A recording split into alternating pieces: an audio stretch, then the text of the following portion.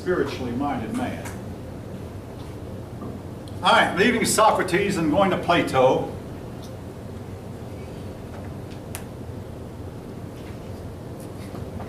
Plato is famous for several um, of his sayings. He, unlike Socrates, he wrote a lot. Plato is from the aristocracy. Of the three sources of Socrates, we can't tell whether he came from poverty or the middle class, but he did not come from the aristocracy. He either came from poverty or somewhere in between. Plato was definitely of the aristocracy. Now, one of the most famous quotes that Plato made, and my wife said that she didn't realize it was said by Plato, but a quote that I had to use when I was teaching elementary school, do as I say, but don't do as I do. Now, why did I have to use this quote? As you can see, folk, my penmanship is bad.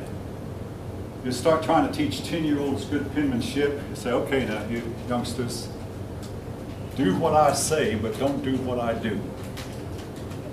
Um, my wife tells me her father quoted that often, and she didn't realize it was a quote from Plato. But then Plato realized his own moral failings. Socrates, by the way, tried to teach morality. Among other things he taught, he tried to get you to replace your bad thoughts with better thoughts. Plato realized his own, perhaps realized his own moral shortcomings. Now, Plato studied the issue of what is real, and he developed a philosophy we sometimes call idealism. That what is real is but a shadow of the ideal. The ideal is in, you might say, another dimension. We're in the spiritual realm, around the corner, outside of our senses. But in the ideal world, we, uh, in the ideal world, our automobiles would never wear out. In the ideal world, our chairs would never get old and break. Everything would last forever. Our bodies would never get old and die and decay away. Everything would always be new. We'd make it new and it would stay new, never get scratched or dented. Philosophy that there was a higher level of existence just above, you might say, or around the corner from us. And uh, what we lived in was but a shadow of the ideal world.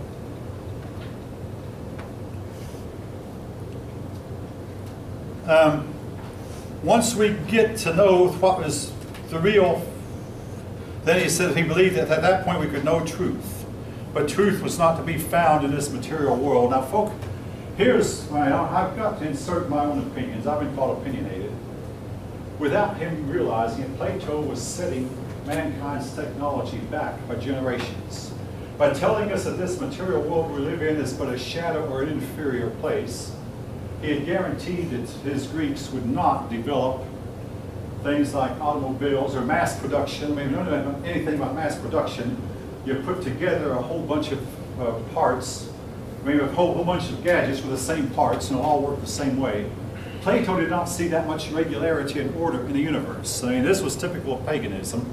The universe to him that he saw was not regular, it was not orderly, and um, therefore, the Greeks did not try to understand it or develop it to its fullest.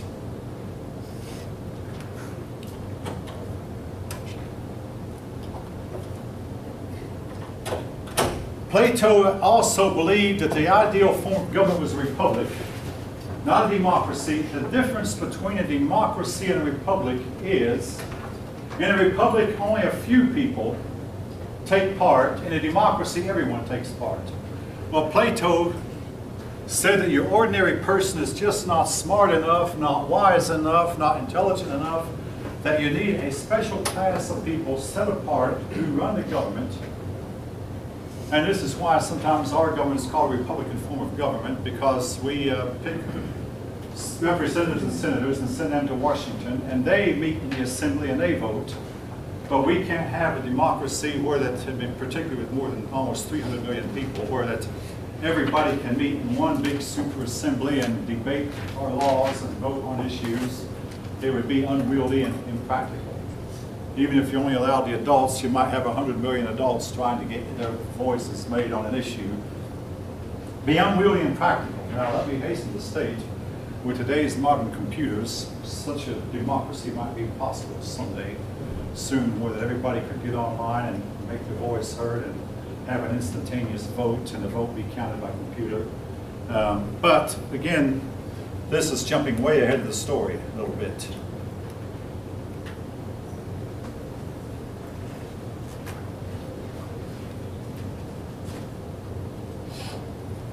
Um, he again he classified people. You can read for yourself how he classified people. There were the masses. The masses, he said, are driven not by wisdom or courage, but by desire. They'd be the producers, the artisans, farmers. Um, now, in the area of women, Plato believed that women should be educated, and he actually looked on women as being equal.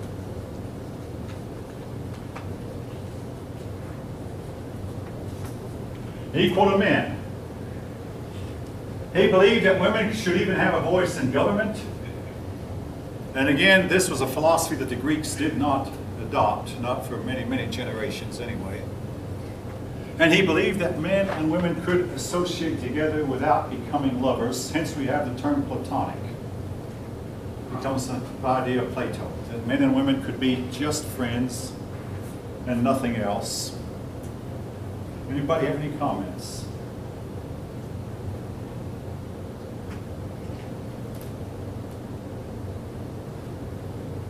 A lot of women particularly seem to believe that men and women can associate as friends and nothing else. It's been my experience, folk, that in the long run, it's impossible. Now, when you're unmarried, women may have to associate with members of the opposite sex. But most of the friendships you form with members of the opposite sex are going to be very short and oftentimes come to a really hard, painful end unless you know when to walk away or when to run.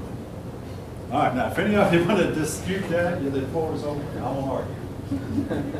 Anybody have a negative comment? But again, Plato believed you could. Keep in mind, though, Plato didn't, and Plato never married, except for Socrates. These three men, none of them ever married. Um, now, Plato went to Egypt, as did perhaps Socrates and some of the others. And while in Egypt, the Egyptian scholars, call them priests, call them what you will, told him, you Greeks have forgotten all of your history. But there once existed, out beyond the Pillars of Hercules, an island called Atlantis. And the Atlanteans were founded by a god named Atlas, ruled over by another god named Poseidon. And they uh, almost conquered the world, but you Greeks are the ones who stopped them, and apparently you've forgotten about it.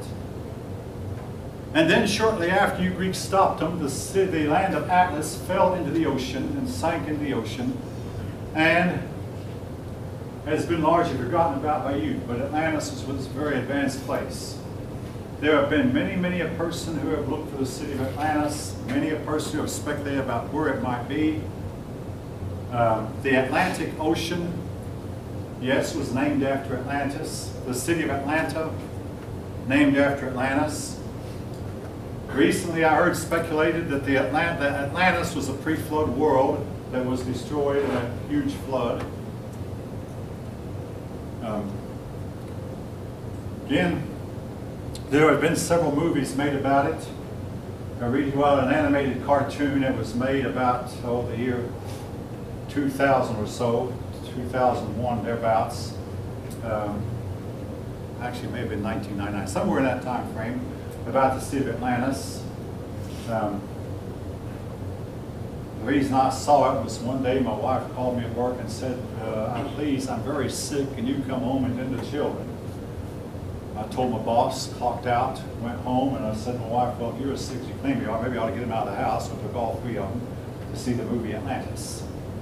Um, and that kept them out of the house about four and a half, five hours, because I took them to a restaurant after the movie.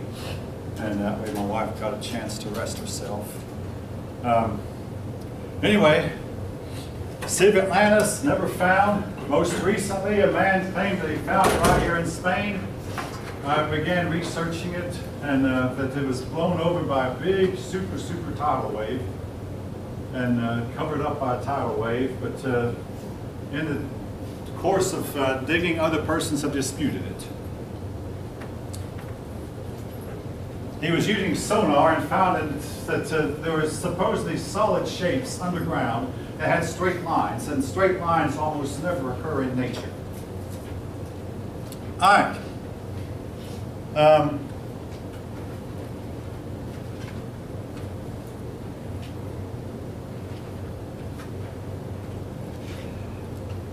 I'll think of a lot more I could say about Plato and theory, but I'm going to move on to Aristotle.